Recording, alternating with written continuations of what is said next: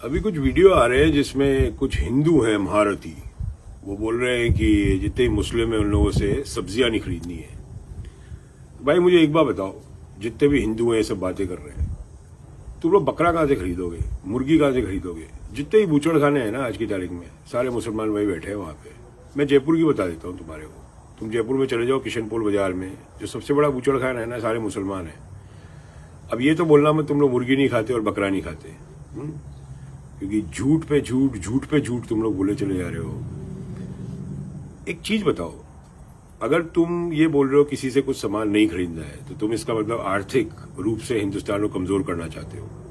दूसरा मुझे एक चीज़ बताओ कि हमारे जयपुर के अंदर जौहरी बाज़ार है। जितने भी रत्न कटते हैं ना ये रत्न, ये पत्थर, ये सारे मुसलमान भाई काटते हैं, करोड़ों का चुनता है अब्जों का।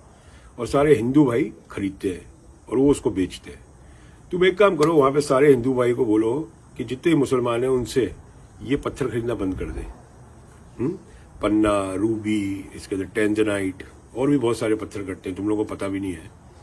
उनसे बोलो पत्थर खरीदना बंद कर दे, मैं तुम्हें दावे के साथ कहता हूँ।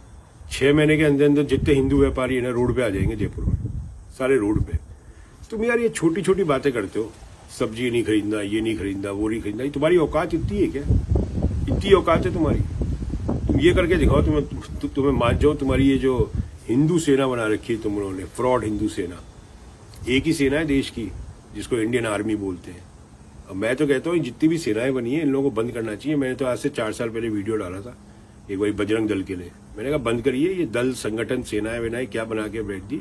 ये एक तरह से संगठन बना दिए, जितने बेरोजगार है ना, वो यही काम करते हैं संगठन बना के बैठ जाते हैं अपने। फिर ये जिला अध्यक्ष बनाते हैं, कोई अध्यक्ष बन जाता है फिर इनकी गाड़ी निकलती है, वो गाड़ी में पट्टी लगी रहती है, अध्यक्ष, हिंदू सेना, फ्रॉड है ये सब ये सब फ्रॉड है। तो भाई, मेरी खुली चुनौती है तुम लोगों से। जितने भी हिंदू हैं आज की तारीख में, जौहरी बाज़ार में, जयपुर में बैठे हैं, जो ट्रेडर्स हैं, उनको बोलो कि जितने मुसलमान भाई हैं, उन लोगों से पत्थर खरीदना बंद कर दे। मान जाऊँगा तुम लोग कितने मर्द हो।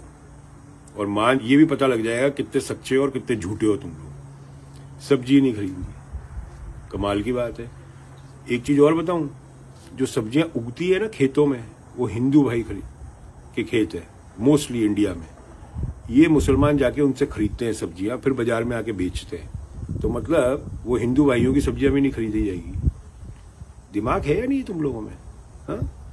तो जो मेरी चुनौती है ना ये, जितनी भी हिंदू सेना वेना बैठी है, तुम्हारे खुली चुनौती है, जयपुर में जाके ये बात करो कि जितने भी जितने भी हिंदू हैं आज की तरह व्यापारी, और वहाँ पे जितने मुसलमान हैं, जो ये काटते हैं रत्न, उनसे रत्न खरीदना बंद कर दें।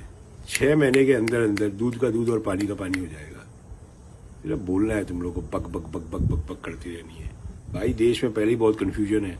बेरोजगारी अपरम्पार पड़ने वाली है अभी। समझ में आ गई ना बात? ये फालतू की बकवास करना बंद करो तुम लोग। और मैं तो प्रधान सेवक को बोलता हूँ, सर, ये जितनी भी है ना सेनाएँ फिनाएँ बनी हुई है, इन सबको बैन लगाइए इनको। ये फ्रॉड है सबके सब। जय हिंद भारत माता की जय